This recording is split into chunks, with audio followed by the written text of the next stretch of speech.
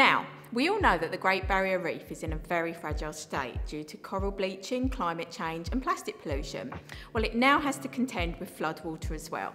After weeks of devastating rain in Queensland, the floodwaters have now reached 37 miles offshore and is starting to smother the coral at the Great Barrier Reef. Scientists are worried that the floodwater will block out light and might slowly start killing coral. And to top it off, due to the lack of wind, the floodwater is pretty much just sitting there covering the reef. The runoff so far has covered 600 kilometres of the reef's outer edges, and because there is no wind to break up the floodwater, there is now heavy algae growth blocking out even more light.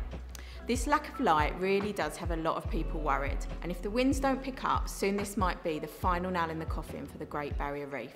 The flood was so bad that in some places they experienced a year's rainfall in just 10 days. So yet, by the look of things, this flood runoff is only going to get bigger and cause more problems for the Great Barrier Reef. So is there anything that they can do to stop the runoff?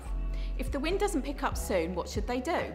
Maybe a clean-up crew to skim the algae to give the coral a fighting chance? Let's have a chat about it in the comments. Thanks for watching and happy scuba diving. We are an online dive store serving the UK and the world for all your diving equipment needs. So why not visit us at simplyscuba.com or click the box on your screen.